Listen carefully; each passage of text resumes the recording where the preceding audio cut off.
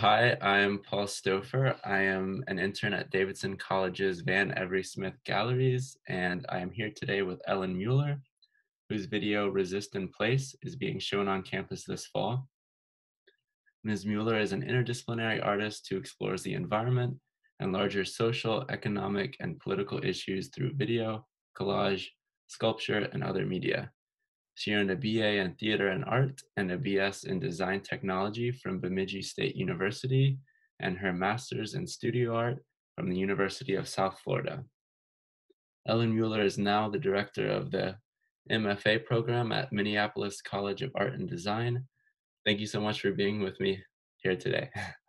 Thanks, Paul. It's a pleasure. All right. So, to jump right in, I just wanted to first start talking about the title of the piece. Mm. So, in looking at the description, resist in place is a reference to a quote about mm-hmm.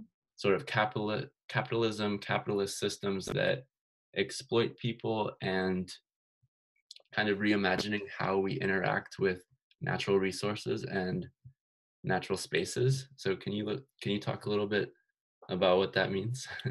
Absolutely. It's um it's a sort of abstract idea, but I I uh, as an artist, I uh, am constantly grappling with the fact that we're really pushed to monetize every moment of every day.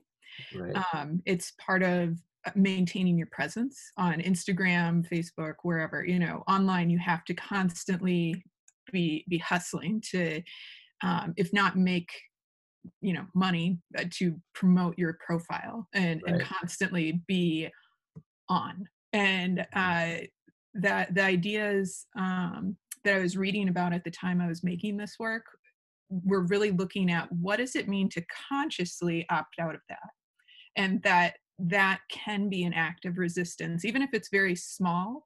Um, it can be a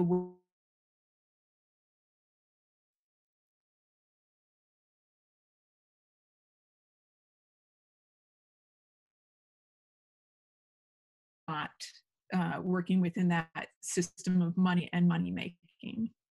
So great, yeah. Um, so pretty pretty relevant to the natural world and relevant to individuals just trying to navigate the systems that we all kind of exist within. Um, Absolutely. So you're delving into these kind of these significant social, political, environmental issues, but in this specific piece, at least when I looked at it, it sort of reminded me of this kind of childlike sense of wonder of looking up at the sky. So I just was wondering if you could talk about how you engage engage with serious topics, but also mm-hmm. in kind of a nuanced way. Absolutely, uh, that's a really good question because it's it's one that I spent a lot of time thinking about. Um, and so this is a video work, but I also work with a lot of participatory social practice based work, um, okay. drawing, and other things like that. So I'm constantly thinking about my audience and how can I bring them in? How can I connect with them and play is one of the ways that I'm really keyed into and I've found some success with. Um, other ways that I've connected with my audience before include um, food or eating together or just simply the act of conversation um, in small groups or one on one. And so, amongst those three, I often oscillate um, between them, whether it's play, conversation, eating together. I use that sort of as a tool to engage with these more um, complex or heavy ideas. And so, you hit the nail on the head the, the idea of uh, what is it to playfully look at the sky? What is it to playfully rearrange the sky and right. create different compositions with what we see up there? yeah that's it i think you do a, a really good job of sort of engaging with our i don't know bringing up memories for me at least but then also getting us to engage with deeper thoughts and definitely sparking conversation which i think is why davidson really wanted this piece that's great to hear um, so you also look at who can engage and participate so these ideas of privilege come up, um, larger capitalist systems in operation, and like common natural spaces and resources. Mm-hmm. So, how exactly do privilege and impact come into the conversation? I'm, I'm glad you bring it up because anytime I talk about this piece, I try to foreground the fact that um, inherent in that idea of leisure as resistance or to mm-hmm. resist in place, that that's laden with privilege. Um, right. Not everybody has time to to take up leisure activities, to even take a walk and look up at the sky is a privilege. Mm-hmm. Um, some folks, depending on what their circumstances are, they're not going to have um, a whole lot of time outside during daylight. You know, like they might be going right. from job to job to job.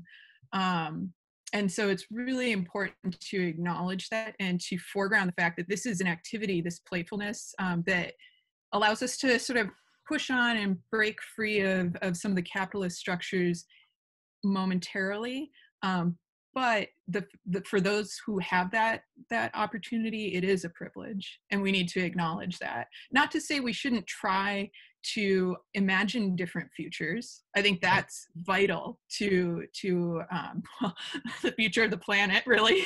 And so um, so we need to be doing that but i think it's also central to that argument or that idea that we acknowledge not everybody gets to do that. And so what are we going to do about that? Right because obviously there's privilege in being able to look up and engage with these spaces not to mention actually like being in the in the plane and everything Absolutely. that that suggests um the fact that it's leaving a sort of physical mark on the environment. Yep. So these contrails like what is what does that mean? And i think for me it also brought up the idea of like it this is kind of a normalized image right? Planes flying overhead, but if you really stop to think about it, it's not necessarily it's not natural at all, really. Right. Like why why is it normalized? Should it be normalized? Absolutely. Yeah. It has I think that's what intrigues me about this particular piece is there's a lot of different points of entry. Mm-hmm. Like you can look at it from the um, capitalist leisure point of view, the environmental point of view, and then simply the idea of compositionally, it's mm-hmm. beautiful to look right. at the sky and to look at these things. And what does that mean when all three of these or more are possibly fighting against each other? You know, there's yeah. a lot there to consider. For sure. So I'm an environmental studies major, so coming at it kind of from the environmental lens. Um, what are you trying to explore with the the condensation trails kind of these lingering effects of the planes that are just left there and kind of mm-hmm. slowly dissipate i well what you just mentioned the element of time is mm-hmm. really interesting to me and the idea of um, if you if you don't look up at the right moment you might miss it entirely but right. it does last in the sky longer than the plane itself um, so there's something interesting about that um, slow disappearance that that I'm just right. generally interested in um, ephemerality and the idea of uh, the momentary chance, you know, like the chance encounter with these lines in the sky. Um, in terms of the environment, I have done like good amount of reading about uh, a lot of conspiracy theories related to chemtrails and these um, things happening in the sky. And um, that is also really interesting to me is uh, I've, I've done a lot of work and, and research into cults and what is groupthink?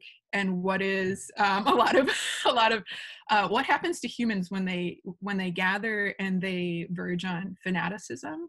Mm-hmm. and so when i look at these and i think of them through that lens versus um, just a lens of, of aesthetics or beauty and how how how uh, there's a disconnect there there's sort of a very different yeah exactly and so so I, I i've always been really interested in what is it to hold two seemingly opposing things in your head at once mm-hmm. and that's partly what what interests me with the environmental lens there is like hmm, like clearly clearly we all know like air travel is bad for the environment it's not good but then right. um, some of those other theories take it even further you know into the realm of conspiracy and then um, yeah, it's it's really interesting to think about that spectrum of belief or right. or not non-belief. You know, I had no idea there was that that level to the piece, but yep. that's great.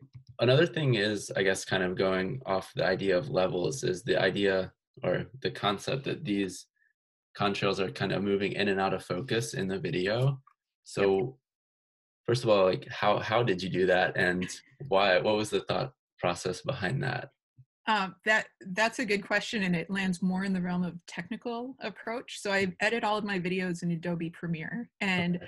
um, they have a lot of very accessible tools for accessing um, simple visual effects like reflection, repetition, focus. Mm-hmm. Um, and so I, I play for hours before I decide on what I, I want to land on. And for this one, that idea of ephemerality and disappearance and reappearance really appealed to me. So I gravitated towards um, that idea of focus and played a lot with um, blurring features and also scale and mm-hmm. moving, getting really close to the fine lines and then also backing way out. Um, and uh, so yeah, it's all done within Adobe Premiere. And uh, I was I was thinking of myself almost like a person drawing as I created it, even though I was in video software. I was thinking right. very much about the composition of the of the rectangle and what I wanted to be more dominant or less dominant at a given time.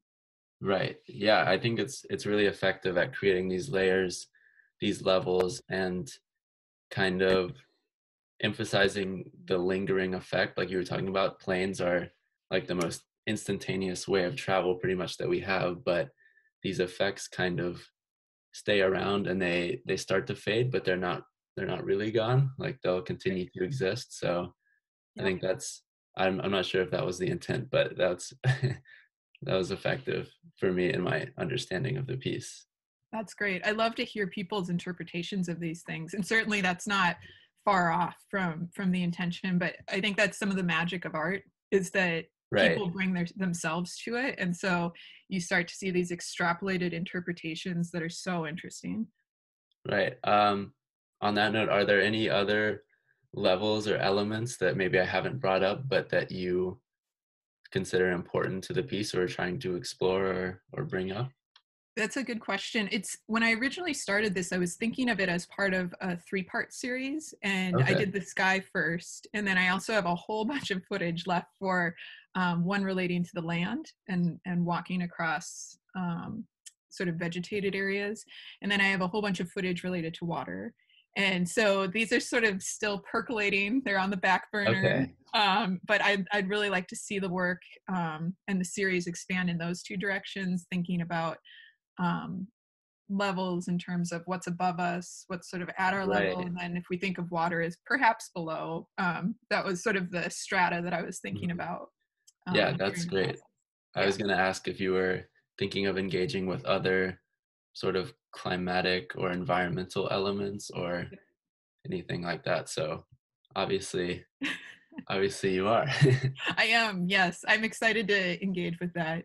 It's since I, I will say since the um, pandemic and and a lot of uh, other life things have happened. I've been in this position I'm in right now for two right. years, and so um, this piece started right before I began this job. So, and then with the new, new, uh, you know, just getting used to a new job, there's a lot of chaos. Right. And, and 2020. and 2020. Oh my gosh. Wow. Yeah.